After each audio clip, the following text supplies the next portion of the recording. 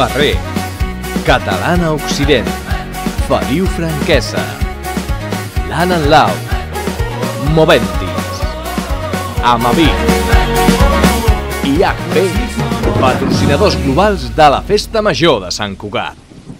La festa major alternativa havia d'haver començat el dijous dia 28, però a causa de la pluja es va haver d'ajornar i per tant comença avui, aquest divendres dia 29 de juny a les 9 del vespre amb un pregó a càrrec dels CDRs, dels sindicats de llogaters i també d'aquesta campanya 8.000 motius que com podeu veure ja estan començant a pujar a l'escenari. Nosaltres anem a escoltar què ens diuen i també després intentarem preguntar-los una mica per què han sigut els pregoners de la festa major alternativa d'enguany de fa 10 anys, valentes i tossudes, vàrem començar amb el nostre model de festa.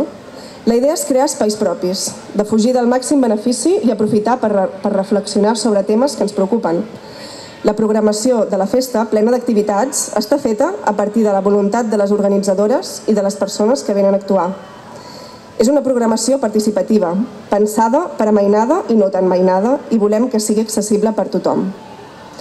Rebutgem actituds d'odi de cap tipus, ni xenòfoba, ni masclista, ni, ni cap tipus d'agressions. Com a persones actives i implicades amb el nostre entorn, som conscients que no podem oblidar la realitat que ens envolta, també durant els dies de festa. Reivindiquem que si Sant Cugat es fa dir ciutat refugi, s'ha de notar. On són les refugiades? Som feministes i lluitem per crear espais lliures d'actituds sexistes. Volem promoure el consum responsable.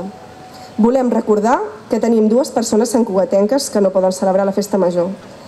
En Raül Romeva, empresonat a Extremera, i la Clara Ponsatí, exiliada a Edimburg. Nosaltres som la campanya feminista i antirepressiva 8.000 motius. Som una campanya que neix com a conseqüència de la repressió patida el passat 8 de març, dient que es va convocar la vaga general feminista.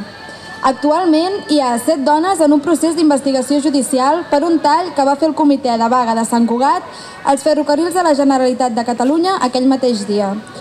Ferrocarrils es persona com a acusació i de moment se'ns demanen un total de 26.000 euros i se'ns acusa d'un delicte de desordres públics.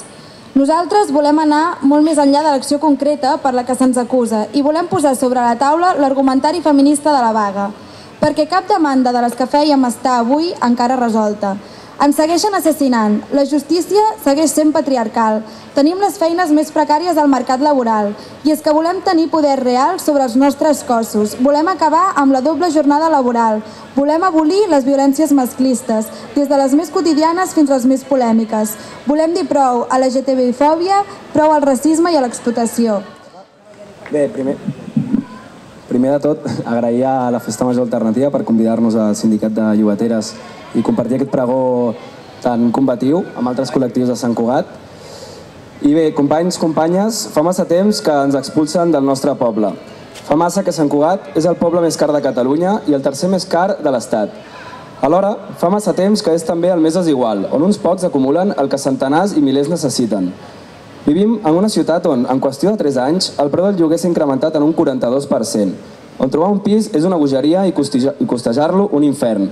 Entrar avui a Habitacle o qualsevol altra web i veure ofertes de pisos de 45 metres quadrats per 800 euros o més és un insult a la vida digna de les persones. Vivim en una ciutat que ha estat governada massa temps per la dreta liberal, provocant una constant i paulatina substitució de classes. Els que menys recursos tenen marxen i deixen pas als que més en tenen.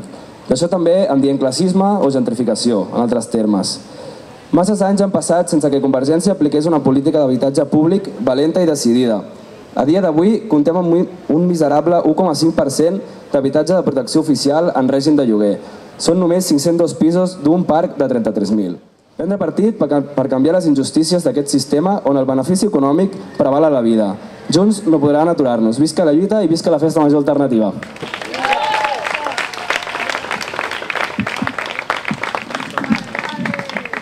Estem amb l'Elisabet, la Maria i el Marco, que són els pregoners d'aquesta festa major alternativa.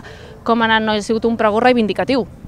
Sí, certament. De fet, el, bueno, els pregons de la Festa Major Alternativa acostumen sempre a intentar comptar amb algun col·lectiu o entitat que hagi fet alguna feina en clau combativa o de transformació social el darrer any i crec que els tres col·lectius que estem aquí ho representem bastant bé. Per una banda tenim els llogaters, també aquesta campanya 8.000 motius, aquestes encausades per aquesta vaga feminista i també el CDR. Per tant, eh, sempre, com deia el Marco, sí que és veritat que, que els pregons de la Festa Major Alternativa són molt reivindicatius. Enguany, a més, és el, estem de celebració, perquè fa 10 anys aquesta Festa Major Alternativa. Per tant, especial o no?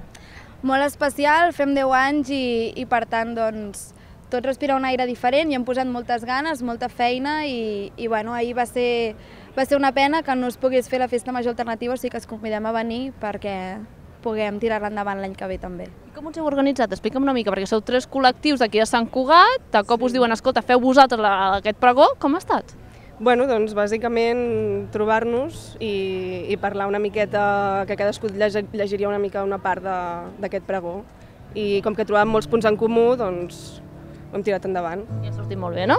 Sí, i tant. Doncs ara imagino que gaudir no, d'aquesta festa major alternativa.